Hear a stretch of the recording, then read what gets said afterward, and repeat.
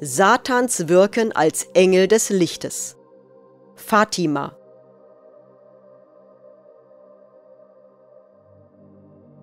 In der letzten Zeit kämpfet der Satan mit allen Mitteln,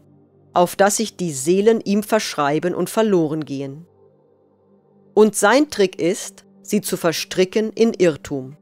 sie glauben zu lassen, den rechten Weg zu gehen und doch ihre Wege so zu verwirren, dass sie nicht merken, dass sie in die Tiefe führen, weil sie auch nicht das ernste Verlangen haben, den Weg zur Höhe zurückzulegen. Die Menschen lassen sich genügen daran, dass ihnen gesagt wird,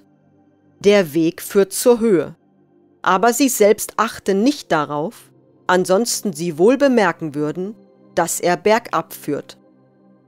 Und er bedienet sich zur Irreführung so vieler Mittel, die alle weit abweichen von der Wahrheit, die ein einziges Knäuel von Betrug sind, doch so gut getarnt, dass eben der Mensch aufmerksam sein muss um ihm nicht zu verfallen. Und das beste Mittel dünkt ihm die Mutter Jesu, die er vorerst den Menschen in den Vordergrund rückt, auf dass sie über ihre Verehrung und Verherrlichung des eigentlichen Erdenlebenszweckes vergessen, die Bindung mit Jesus Christus selbst zu suchen, von der allein das Seelenheil des Menschen abhängig ist. Es ist also scheinbar ein gerechter Liebeakt, den sie der Mutter Jesu gegenüber vollziehen, der aber Auswirkungen hat, die der Satan verfolgt. Verringerte Liebe zu dem göttlichen Erlöser selbst, der gleichsam zurückgestellt wird.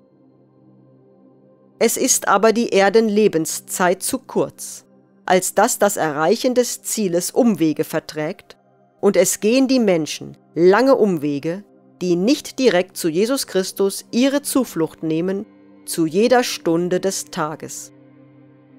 Die Verbindung mit ihm ist so überaus wichtig, dass sie nicht oft genug hergestellt werden kann und dass schon aus diesem Grunde jede Verherrlichung der Gottesmutter ein Abweichen des eigentlichen Lebensbestrebens bedeutet, eben diese Bindung mit Jesus Christus herzustellen, von der allein das Seelenheil eines Menschen abhängig ist. Und diese Bindung also sucht der Gegner Gottes mit allen Mitteln zu verhindern, was ihm am besten gelingt, indem er desto mehr die Gedanken der Menschen auf Maria zu lenken sucht und ihm dies auch möglich ist durch Erscheinungen ungewöhnlicher Art, deren Urheber er selbst ist, der aber unter der Maske eines Lichtengels sich sichtbar macht, den Menschen, die besonders geeignet sind dafür, übersinnliche Dinge wahrzunehmen. Durch diese Erscheinungen sagt er den Menschen Dinge voraus, die er wohl erkennt, als kommend, und macht so den Eindruck von Glaubwürdigkeit geltend, obwohl dies nur ein Tarnungsmanöver ist, um desto größere Verwirrung zu stiften. Und immer wird er sich in den Mantel des Geheimnisvollen hüllen, immer Verborgenes behaupten, immer mit dem Verbot, es öffentlich kundzugeben, weil dann seine Lügenhaftigkeit erkannt werden könnte. Es sind immer nur versteckte Angaben, die er machen wird, weil ihm die genaue Kenntnis fehlt, aber auch er zuweilen in hellen Momenten den Ernst der Zeit erkennt, in der auch ihm selbst das Handwerk gelegt wird. Aber er kann es nicht lassen, für sich Ehre und Ruhm zu fordern, und tut dies durch den Mund jener getarnten Lichtgestalten, indem er also fordern lässe den Bau von Kirchen und Altären, wo ihm gehuldigt werden soll,